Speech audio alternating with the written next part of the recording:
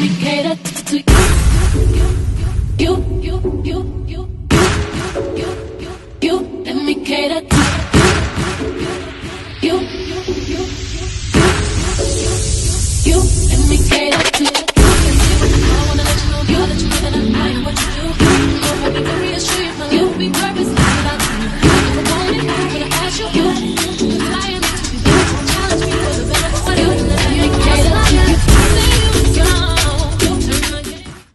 y'all, and welcome back to the channel. Make it make sense. Got another banger for you all to contemplate on. To try to see if we can have some type of resolution, or it's just gonna still stay hell. Uh, we can't make it make sense because there's no there's no groundwork, there's no foundation, there's nothing. Kanye West is trying to ask a white actor to play him in his biopic. I'm like, first we had Michael Jackson not wanting to be black, and he had to lighten himself up because he said he was uh fell ill to the vert. What do you call that? Vit- Vitiligo or something like that. It's when your skin actually starts looking white. Your pigmentation of your skin is is rubbing off and becoming like white. And um, I'm sure it was just a little bit of uh, what do you call it? It was just a little bit of unnerving with seeing that take place. And this probably was a small little set that it was, you know, showing up and showing out on on the skin. But you know, he that was his getaway card to go on and transform himself into looking like white, like Casper the Ghost. Not how some uh, or most uh, Caucasian people look, because he look kind of pinkish, pinkish, and that's probably through the uh, blood flow going through their body, because they absolutely would look white not white as paper, but that tannish, uh, grayish white, beige. I think I'm getting that. But anyway, Kanye West decided to ask this young man to play him in his biopic. Now, the reasoning would be behind it. He would have to be black faced. Everybody know what blackface is. If you don't, just look it up, okay? And don't get shocked. Don't don't fall out your chair, uh, because this is just some things Kanye just let us go through. Okay, we have to look through.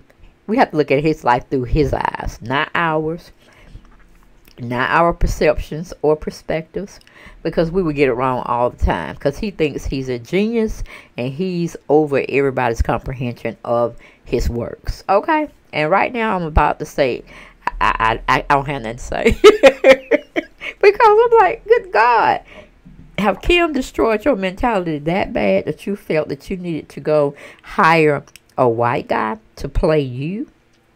If you don't get the hell out of him, Kanye. But anyway, we got this article from Tone Deaf. Uh, and it was, uh, the writer of this article was called Russ Cuts for Cuts Forth. Okay, he titled his article Danny McBride playing Kanye West in biopic. Ye wants it to happen. All right, in a recent roundtable interview, Danny McBride revealed that Kanye West once asked McBride to play him in a potential biop. Danny McBride recently opened up about one of the most bizarre interactions he's had in a career, had in his career. The Righteous Gemstones actor talked about how he went out on a boat in South Carolina with Kanye West for the day and how West then opened up to him about an idea for a biopic in which McBride would play West. I'm pretty sure if he was drunk or had a few too many uh, beers going out on the lake and, you know, letting Kanye see how he get down in the ocean or whatnot, or their little baby lake that they had, he probably fell out. He probably fell out the seat of the boat. Okay, he probably fell out in the water and said, "What did you just ask me?" Maybe I'm hearing things because I can't believe you would want me to go blackface and play you. You you do recognize that we are from two different cultures.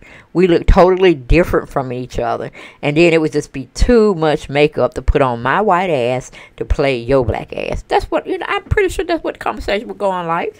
Okay, after Kanye got him back in the boat after being shocked and scared to even phantom the ideal of him playing the role of Kanye.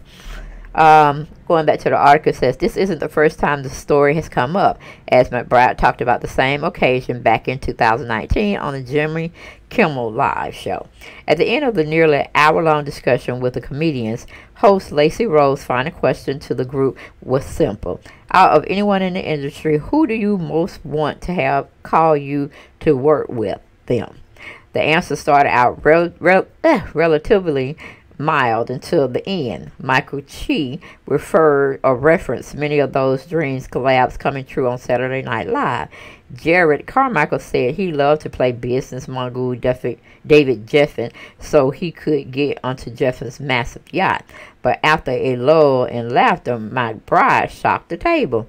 One time I did get a phone call from Kanye West, and this this is real. He came to my home in South Carolina and wanted me to play him in a movie, said McBride.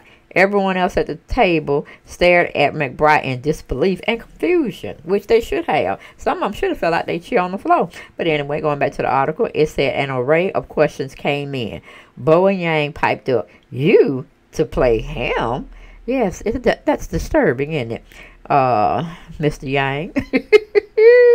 Yay! McBride continued. Kanye flew down to South Carolina and told him out in a boat for the day, and he said that he wanted me to do a movie of his life and he wanted me to play him. Yang queried in a Todd Haynes, I'm not there, Bob Dylan way, like Cate Blanchett. I'm not there in Haynes' 2007 experimental biopic about Dylan's uh, life where Blanchett, Christian Bale, Richard Gere, Heath Ledger, Ben Whishaw, and Marcus Carl Franklin take turns playing the songwriter. McBride escaped the question and simply said it was one of the most incredible days ever. It was pretty awesome. Lacey Rose circled back to the topic afterward and asked, What are what are the follow follow up questions that you then load to Kanye?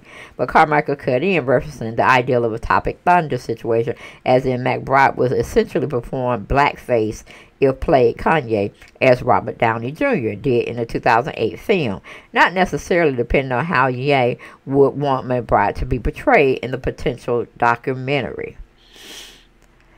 Now, what do you say, fam? about Kanye wanting this white man to play him in his biopic, meaning his biography put out on tape or visual video form. Has he lost his mind?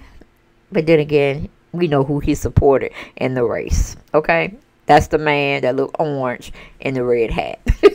Trying to say we finna make America great again. All right? Yes, honey. Like I said, I don't know what possessed Kanye to do such a thing, say such a thing. But when you're talking about um, Kanye, you're going to have an array of opinions and speculations and innuendos go on. Because he likes to just mess with your mind, pretty much. And even though they say allegedly that he's bipolar or whatever, some of his antics are just like he just want to do something just for the effect, just to see how people would respond. Okay? And how long they would talk about him and drag him through the social media streets for wanting to do something like that.